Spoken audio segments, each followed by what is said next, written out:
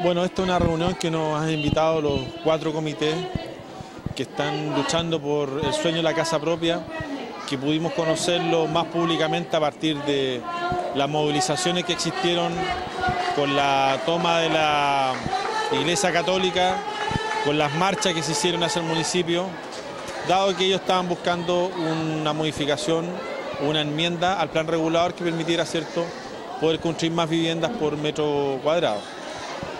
Lamentablemente, de parte del municipio, es lo que nos han señalado, no ha habido ninguna voluntad de querer avanzar con este proyecto, a través de una serie de actitudes dilatorias, ¿cierto?, de información extra, adicional, que claramente se aleja de lo que es un proyecto de esta naturaleza y por tanto lo que han querido los vecinos y vecinas de estos comités es que poder contar con la presencia de quienes hemos estado apoyando desde el primer día esta iniciativa y por supuesto de no abandonarlos porque sienten que lamentablemente hoy día eh, el proyecto de ellos está sufriendo un retraso que es inexcusable, un retraso que no tiene ninguna justificación y nosotros apelamos a que las autoridades del municipio puedan ponerse la mano en el corazón y entender que aquí no es un gusto personal, sino que aquí lo que corresponde es que un proyecto que está siguiendo todos los pasos como corresponde pueda ser acogido por el municipio y no seguir dilatando y generando condiciones adicionales que son francamente, muchas de ellas ridículas, para impedir ¿cierto? que este proyecto se pueda llevar adelante. Así que esperamos confiados de que este proyecto pueda tener salida, un proyecto que pueda ¿cierto? seguir su tramitación y ojalá que no, pueda, no, no siga teniendo eh, estos, estos reparos que francamente eh, los mismos dirigentes han encontrado que son reparos que no corresponden y que son y nunca antes visto muchos de estos proyectos.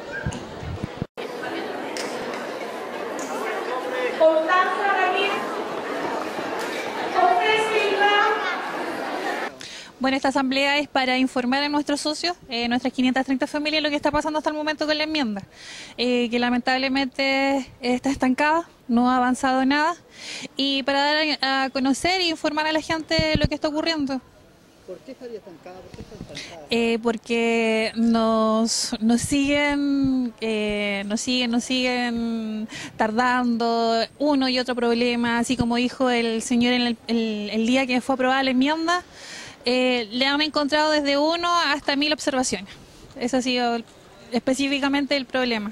¿Cree usted que tenga soluciones? Sí, sí, son observaciones que no tienen nada que ver con nuestra enmienda, con nuestro proyecto, observaciones totalmente ilógicas. Eh, la más irrisoria es que nos envían al Ministerio eh, de Medio Ambiente para poder evaluar el tema de la construcción de las casas y aprobar la enmienda, no tiene nada que ver con nosotros. Cumplí a las 3 de la tarde para marchar hacia la municipalidad. Tres puertas, todo lo que podemos decir. Lo que pasa es que nosotros eh, pedimos la enmienda para el proyecto habitacional de 530 familias y el proyecto está, la enmienda está durmiendo en el municipio. Nosotros fuimos al Consejo Municipal donde se habló eh, el señor López, Jorge López, eh, él puso muchas trabas, eh, trató de enredar la situación para confundir a nosotros y confundir a los concejales.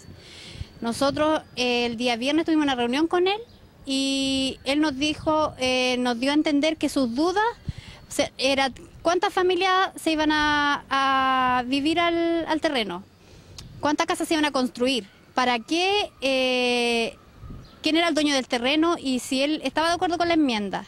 O sea, puras cosas absurdas. Además oficiaron al Ceremi de Vivienda y al Ceremi de Medio Ambiente, donde ellos en enmienda no tienen nada que ver. La ordenanza dice que no corresponde que ellos eh, eh, se pronuncien.